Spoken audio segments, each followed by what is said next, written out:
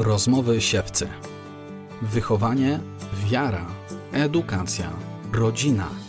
Zaprasza Sylwia Japs. Gośćmi rozmów siewce są państwo Roxana i Andrzej Cwenarowie, małżonkowie od ponad 20 lat, rodzice trójki dzieci, założyciele Fundacji dla Rodziny. Serdecznie Państwa witam. Dzień dobry. Dzień dobry, witamy.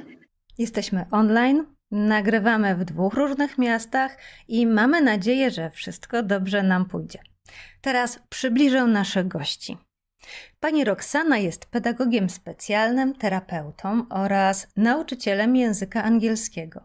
Natomiast pan Andrzej jest ekonomistą, trenerem Tatonet, liderem ojcowskiego klubu oraz bibliodramy, a także nauczycielem naturalnych metod planowania rodziny. Obydwoje państwo są liderami edukacji finansowej Crown oraz absolwentami podyplomowych studiów nauk o rodzinie. Spotkałam się z Państwa cyklem kilkuminutowych filmów pod tytułem Akcja Relacja. W ośmiu odcinkach, które mają po maksymalnie 4 minuty każdy, zostały poruszone istotne tematy, takie jak kłótnia, wierność, jedność małżeńska. Mam wrażenie, że zaczęli Państwo tę akcję od tematów bardzo ciężkiego kalibru. Skąd taka decyzja? Chcieliśmy przybliżyć właśnie takie ważne tematy z punktu widzenia jedności małżeńskiej, ale w dość taki krótki sposób, łatwo, łatwostrawny, jeśli można tak powiedzieć. No, dzisiejszy odbiorca właśnie nie lubi długich treści. Stąd te takie krótkie filmy, my to nazywaliśmy śniadaniowe, ale one też miały, mają na celu zachęcić, jeśli ktoś jest zainteresowany, do pogłębienia tego tematu i skorzystania z, czy to z naszych randek małżeńskich online, gdzie dany temat omawiamy przez prawie godzinę, bądź z wyjazdów naszych wakacyjnych, gdzie przez tydzień czasu zajmujemy się komunikacją małżeńską. Chcieliśmy zrobić taką szybką, a równocześnie treściwą obsługę małżeństwa, czyli wybraliśmy te tematy, które naszym zdaniem najbardziej służą budowaniu takiej wspólnoty, jedności małżeńskiej. Zależało nam, żeby to było podane właśnie w taki sposób krótki, treściwy i do celu. Oprócz tego okraszony humorem, bo z ogromną lekkością Państwo przekazują ważne tematy. Tam się nawet pojawiają rękawice bokserskie. Moja żona jest bardzo kreatywna i pomysłowa. Ja za nią idę w ciemno i chętnie uczestniczę w tych szalonych pomysłach. Lubię żarty, e, lubię lekkość. To sprawia, że umysł lepiej przyswaja wiadomości. E, mam to sprawdzone na dzieciach, które uczę. Kiedy kończy się jeden odcinek, taki czterominutowy, nie ma niedosytu. Bardziej pojawia się chęć pogłębienia tematu i poznania kolejnych odcinków. Zastanawiałam się, czym jeszcze Państwo zaskoczą. Podjęta przez Państwa tematyka jest trudna. Dopiero w drugiej części cyklu rozmawiali Państwo o tym, jak poznać tego jednego i wyjątkowego człowieka, jak się do tego poznania przygotować. Natomiast ta pierwsza część cyklu ukazywała małżeństwo od trudniejszej strony. Mamy bogate doświadczenie w poznawaniu małżeństwa od tej trudniejszej strony. Bywa w naszym małżeństwie bardzo gorąco e, i mamy możliwość ćwiczenia i praktykowania e, właśnie tych treści, które przekazywaliśmy.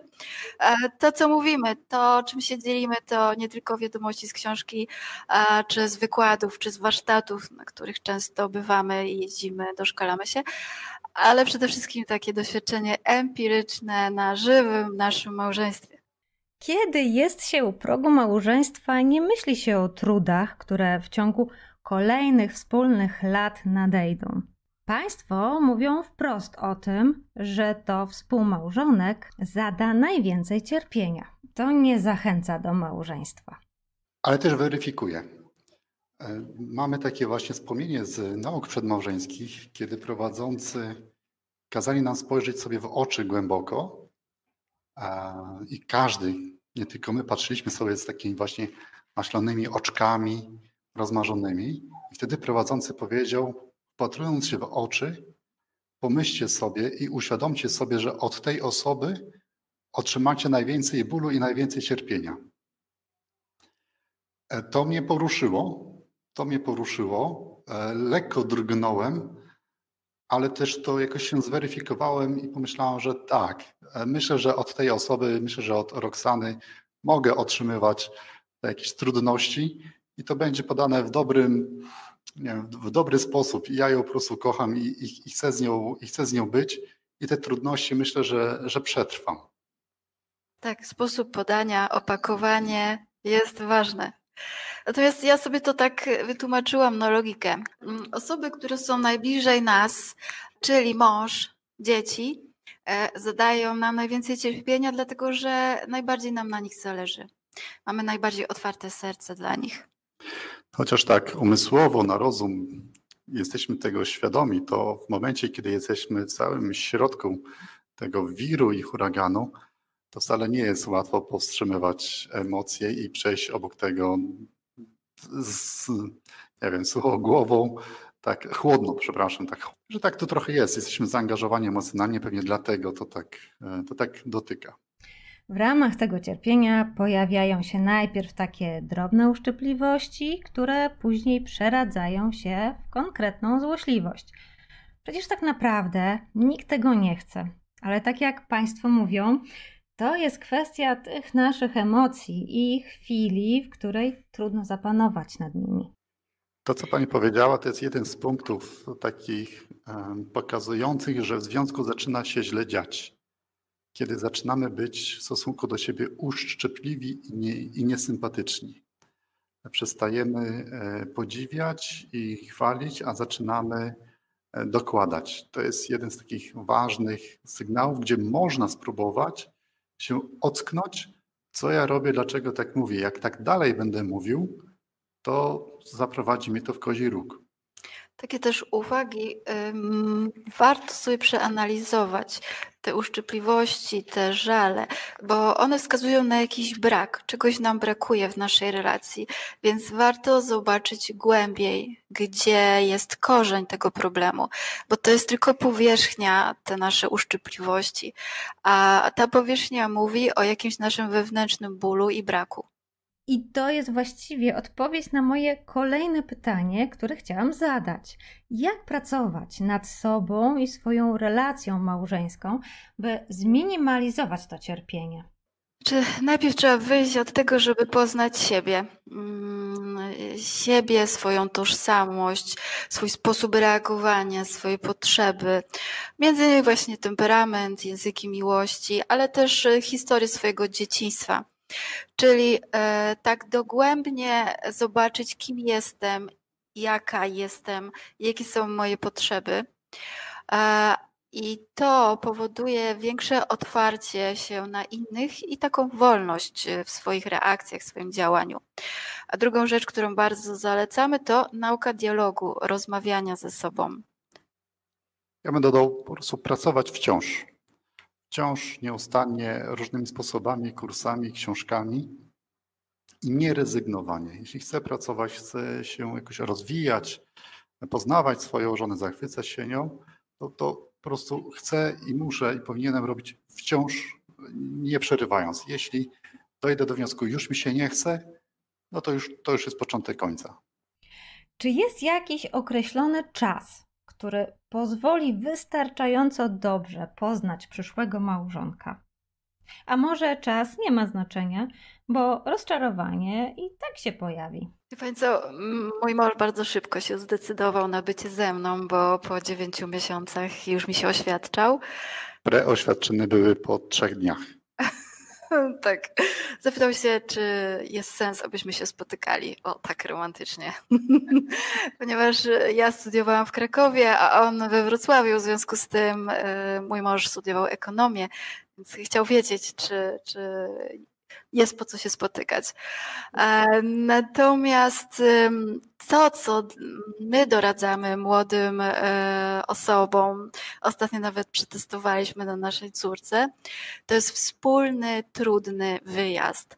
Taki wyjazd, gdzie człowiek e, jest zmęczony, jest brudny, są komary, nie zawsze jest ciepło, nie zawsze jest takie jedzenie, jak się chce, nie ma się swojej ulubionej poduszeczki.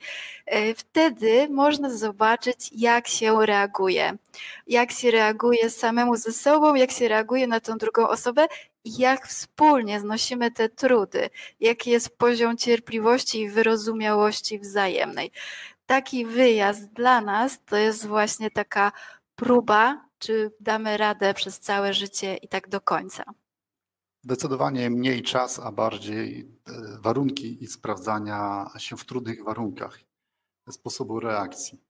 Natomiast nie ma też jakiegoś określonego czasu, kiedy wystarczająco dobrze poznam e, swoją narzeczoną, swoją przyszłą żonę e, czy, czy męża.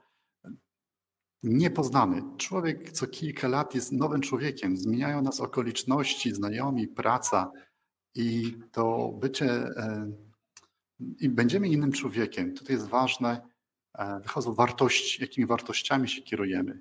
To też zachęcamy zrobić sobie taki test, taki test, wypisać 10 wartości, ustawić je według kolejności. Jeśli są w miarę zgodne, te górne i dolne, to znaczy, że nie będzie źle. I myśmy taki test w okresie narzeczeńskim e, zrobili i faktycznie mieliśmy te górne wartości bardzo zbliżone. To też było dla mnie takie rozumowe rozumowe potwierdzenie, ok, to jest właściwa osoba, będą się działy różne rzeczy, ale będziemy się kierować podobnymi wartościami. I tak faktycznie jest. Naprawdę jesteśmy całkowicie innymi ludźmi niż 20 lat temu. Ale e, te wartości nas trzymają i dalej chcę, dalej chcę być z moją żoną. Chcę ją poznawać i odkrywać. Tak, możemy się dogadywać właśnie dzięki temu, że mamy wspólne cele. No to w takim razie, gdzie poznać tego dobrego męża, dobrą żonę? Bo można powiedzieć, że można się ograniczyć jedynie do modlitwy albo aż i potem spotkać się z takim tekstem krążącym po internecie, że modliłam się o dobrego męża, więc mam dobrego męża. On się nie modlił, więc ma, co ma. Tak, to jest, bardzo lubimy ten, ten, ten, ten żart. Spotkać można wszędzie oczywiście, w różnych miejscach. Nie można się ograniczać i ograniczać Pana Boga. Natomiast oczywiście są miejsca lepsze i gorsze. O tym też mówimy na naszych filmikach. E, według nas miejsca lepsze to są właśnie takie miejsca związane po części z kościołem, z jakimś środowiskiem, wspólnotą, czy to pielgrzymką, czy środowiskiem akademickim, duszpasterstwem, oazą w jakichś takich miejscach jest no, większe prawdopodobieństwo, że się trafi sobie na normalniejszego chłopaka czy na normalniejszą dziewczynę. Co oczywiście nie daje gwarancji. Trzeba pamiętać, że ludzie poranieni przychodzą bardzo często do kościoła. Niemniej jednak, niemniej jednak statystycznie wydaje mi się, że to, to są miejsca troszkę lepsze. A miejsca troszkę gorsze, no to chyba to są kluby, kluby różnej maści, no to wydaje mi się, że to, tam może być trudniej znaleźć e, matkę swoich dzieci. My spotkaliśmy się e, na rekolekcjach u jezuitów o rozeznawaniu powołania. Ja jeszcze wtedy nie byłam świadoma, ale mój mąż już wtedy rozpoznał swoje powołanie. I tak to się zaczęło. E, natomiast e, to, co Andrzej powiedział, e, miejsce, ważne jest miejsce. Ja jeszcze dodam, że mówi się, że Kościół jest takim szpitalem dla osób zranionych i to jest prawda. Więc idąc do wspólnoty, nie należy raczej oczekiwać, że znajdę kogoś idealnego.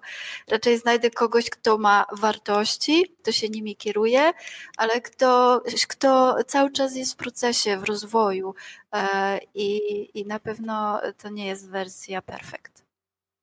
Myślę, że bardzo istotne jest to, co Państwo powiedzieli, że w kościele nie znajdzie się człowieka idealnego, bo przecież ideałów nie ma na świecie, ani nie ma idealnych żon, mężów, rodziców i nie ma idealnych dzieci. Chociaż każdy tego ideału gdzieś tam szuka. Ważne jest to nastawienie, o którym rzadziej się mówi, że w kościele można spotkać ludzi poranionych, ale z wartościami, czyli możemy tu gdzieś znaleźć ten punkt wspólny. Dlaczego zdecydowali się Państwo na pomoc innym małżeństwom w budowaniu relacji, a tym samym zdecydowali się towarzyszyć w tworzeniu szczęścia i bliskości w rodzinie? Można powiedzieć, że wiele małżeństw ma doświadczenie życiowe, ma wiedzę, ale się nie decydują. Jak to było u Państwa? Dlaczego Państwo podjęli taką decyzję? To jest element naszej historii. sami przeżywaliśmy trudny okres, albo jeden z trudnych okresów miał miejsce około 7 lat po ślubie. To był bardzo trudny czas, kiedy bardzo mocno się nie dogadywaliśmy ze sobą i już niewiele rzeczy nas łączyło poza dziećmi. I postanowiliśmy wyjechać na warsztaty o wychowywaniu dzieci, żeby się dogadać jakoś do w stosunku do dzieci, bo, bo no, chyba tylko one nas wtedy łączyły. I zobaczyliśmy na tym wyjeździe, że jest inny świat, że jest kilkanaście rodzin, które e, chociaż nie mają łatwo, może nawet o wiele trudniej mają w życiu, to jednak w jakiś sposób o siebie dbają, się kochają. Nie wiedzieliśmy, czy to jest sekta, czy o, o co chodzi, gdzie są ci ludzie, skąd oni są.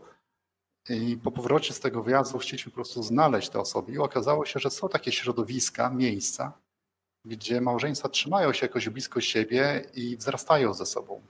Dziś to nazywamy miejscem wzrostu.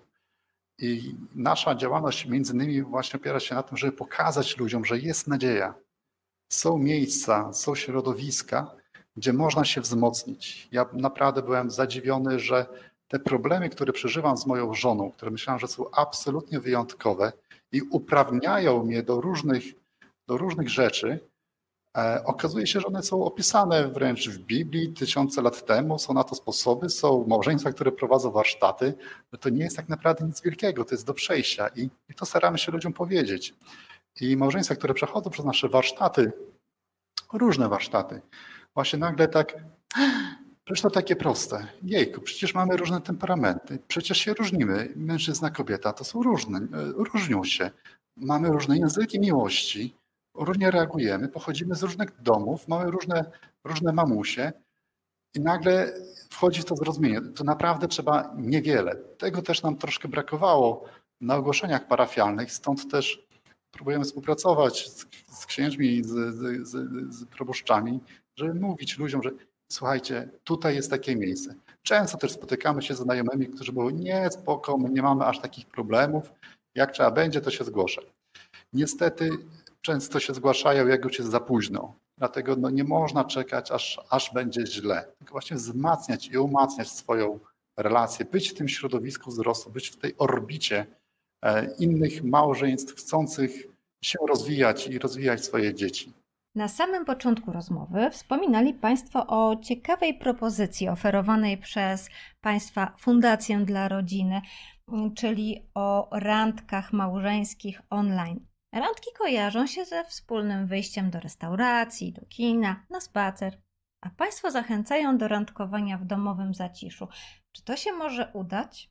Na pewno tak i mamy to przetestowane przynajmniej na 6 tysiącach parach.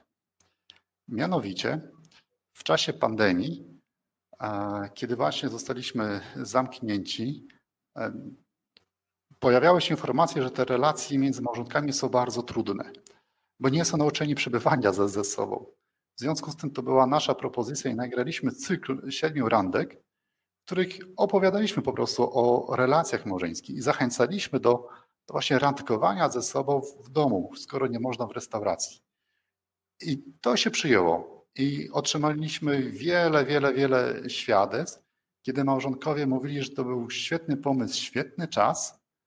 I choć faktycznie nie była to restauracja, to jednak miało to swoje ogromne zalety, ponieważ po pierwsze, nie trzeba było zajmować, e, robić opieki do dzieci. Czyli rodziny, małżeństwa, które mają dzieci wieku rok, dwa, trzy i nie mają dziadków przy sobie, nagle mogli porandkować. Zachęcaliśmy do stworzenia warunków, opowiedzieliśmy, jak je zrobić, jak one mogą wyglądać, i po położeniu dzieci spać mogli porozmawiać ze sobą, stworzyć ten klimat też randkowy. E, okazało się, że no właśnie, na, na, na treści to często niestety panowie mają opory, żeby wyjść kogoś posłuchać, no bo przecież facet jest najmądrzejszy na świecie i nie chce nigdzie iść, a tym bardziej do jakiejś ciemnej, ponurej salki katechetycznej, ale tutaj przed ekran bezpiecznie jest w stanie usiąść z żoną i nawet pokomentować coś pod nosem, ale wysłuchać. I też mieliśmy kilkadziesiąt takich świadectw, że najpierw przychodził mężczyzna, burkał, burkał, burkał, aż w końcu się przełamywał i zaczął słuchiwać się, bo on to wszystko przeżywał. Przecież my opowiadamy o tym, co ludzie przeżywają, o tym, co sami przeżywaliśmy. I się okazało, że to ma swoje miejsce.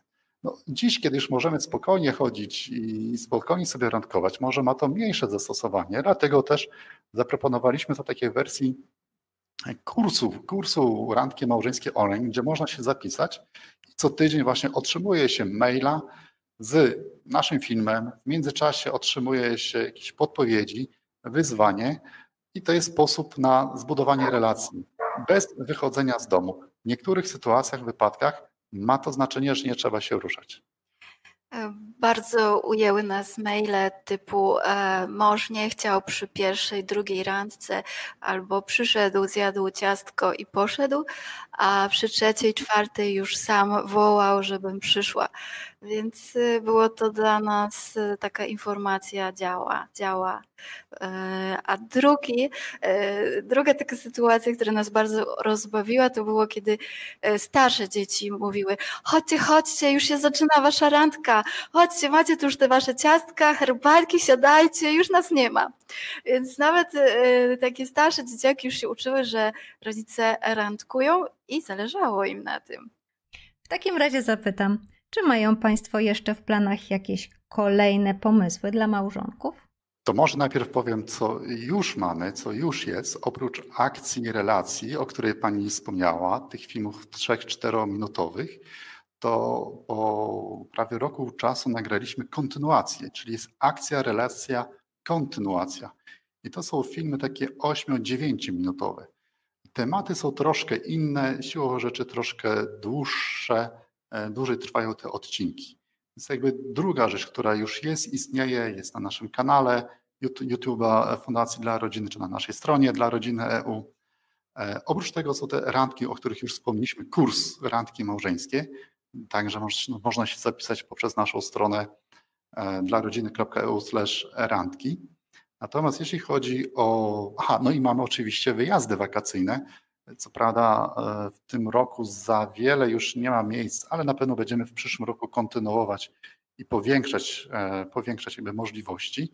Natomiast jeśli chodzi o przyszłość. Czy są jeszcze biwaki? Tak, może nie tyle dla małżonków, ile dla taty i dziecka bądź nastolatka.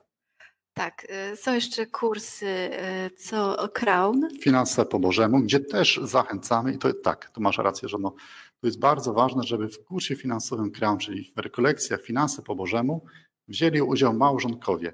Ludzie się często kłócą o seks i o pieniądze.